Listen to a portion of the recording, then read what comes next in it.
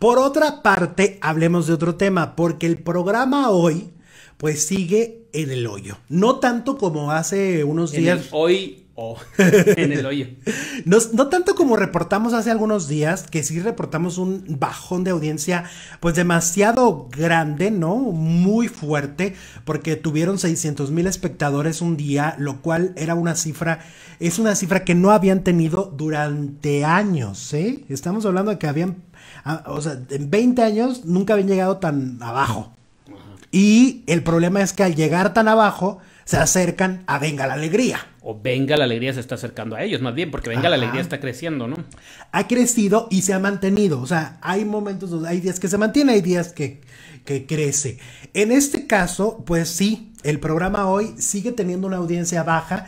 Por debajo del millón, está en 700 y 800 mil espectadores, lo cual es poco, es poco para hacer un programa tan importante para Televisa. Tiene mucho que ver también con lo que dijimos de Noticieros Televisa. Sus dos noticieros ante- antes de, de hoy, De hoy. no están teniendo la audiencia eh, más alta. Por lo tanto, ahí no se genera eh, un público que se quede, sino que pues, de alguna manera tienen que rescatar el horario. Cosa que con Venga la Alegría, aquí hay una cosa también. A Venga la Alegría tampoco le dejan la gran audiencia y logra crecerla muchísimo. Estamos hablando de 600, 700 mil, o sea, estamos hablando de que la distancia es mínima. Andrea Rodríguez, productora en este momento del programa hoy, pues estuvo en la casa de Mara Patricia Castañeda y ahí habló de cómo recibe eh, la propuesta de, eh, de que, de que podía producir hoy. Cuando muere Magda, su hermana, dice que a los dos días tuvo una, una, una junta con un ejecutivo y el ejecutivo le dijo, ¿qué quieres hacer? Y entonces dice ella que pues en el fondo de su alma lo que hubiera querido es irse ocho, nueve meses a encerrar a su casa de, de campo porque había un duelo que vivir, ¿no? Eh, se va su, su hermana de este plano y se va su, su hermana, su compañera, su maestra, un- una pieza importantísima. Y entonces ella dice, bueno, pues me voy, pero, pero no, porque Magda me diría, agárralo. Y lo agarró. Ahora, lo que también confirmó ahí es que no hay una fecha exacta de la eh, salida de, de- Andrea como productora. O sea, como puede salir la próxima semana, como puede salir en dos meses, como puede salir en un año. ¿Ok? No hay una fecha. No está asegurado eso. También sabes que comentó, importante, que el- ella antes era pues la que estaba, digamos, detrás de Magda, ¿no? O sea, no era la imagen, no era la que le llovían los comentarios, los chismes, y dice que ha batallado muchísimo para entender que ahora es ella la que está de frente y que entonces al estar ahí, pues es la que recibe los guamazos, ¿no? Los buenos y los malos comentarios. Lo que antes hacía su hermana, ¿no? Ajá. Cosa muy diferente. Dice que la única vez que la agredieron fue cuando tronó una relación sentimental, que tú recuerdas fue la relación con Agustín, ex académico, que luego Agustín este, la, la dejó, ¿no? Dice que en aquel momento las fans de Agustín le decían, claro que sí, ¿cómo no te iba a dejar, vieja ruca? Que no sé qué, que era lo que le escribían.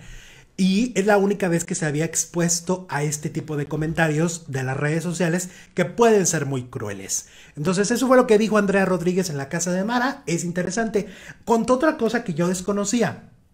Ella produjo el programa de No lo, no lo cuentes. Sí. Sí, ¿verdad? Era el donde estaba Gustavo Adolfo, Verónica Gallardo y eh, En Ivonne- Canal... tre- en Cadena 3. Cadena 3.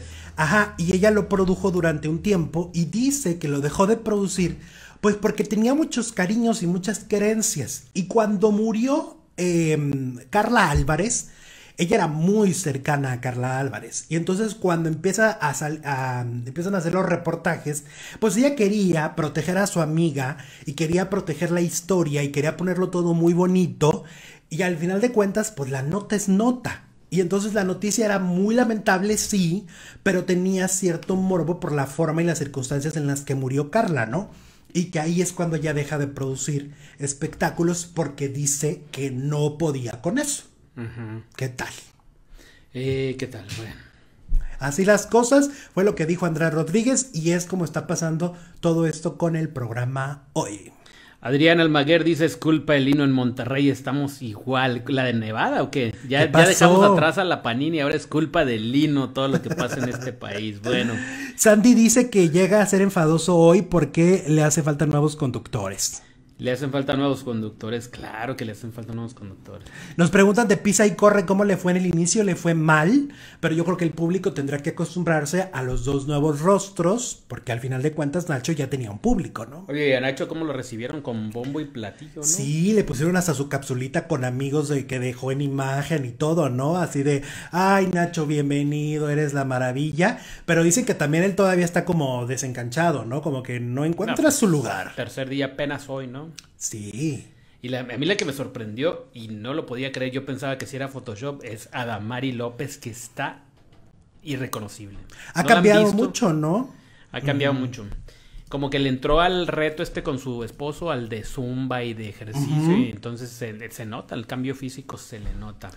Y que también como la criticaban, ¿no? La criticaban horrible. Sí, hombre. Eran bien crueles. También dicen que Arad de la Torre hueva en el programa hoy, nos escriben. Y está- estaban diciendo que Arad sí está en la mira para sacarlo, ¿eh? Sí, también ya está. ¿Quién lo dijo? ¿Andrea? Eh, Andrea no. No, Andrea no, pues no, no. Pero en las redes se dice que Arad, mm, mm, sí, está no. a un paso de bye bye. La gente no está muy conforme con él. Deja tú ya el tema que pasó de Nat Campos, como que no Lo lo, nuevo. no lo, no, no les gusta. Como, es que como que está malhumorado, ¿no? Como que siempre está así. Él vive así.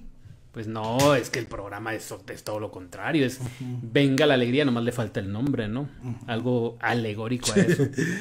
¿Qué Porque pues es, puro, es pura fiesta el programa hoy, ¿no? Puro grito, pura bien exacto, concursos y todo. Y este señor con su cara de jeta, pues no. Dicen que ojalá y lo saquen. Guerrero será grabado en Colombia, nos dice aquí Arsenio Rivera. Ok. ¿Y entonces los graban en Colombia, eh? ¿En la playa o dónde? Porque ah, te acuerdas que el primero fue en el, en el foro, ¿no? Porque también graban en República Dominicana, ¿no? Creo. Ajá. Eh, también en, bueno, creo que en Centroamérica, pero no me acuerdo exactamente dónde. Oye, ahora como ha venido hater, qué miedo. ¿Tú crees que regrese Jorge Poza al programa hoy? Dice Melvin Alfaro. Muy bien. Saludos, son espectacu soy espectaculares. ¿Qué dice? ¿Qué, qué, qué? Que algo de luja y... Oh, se me fue. Bueno,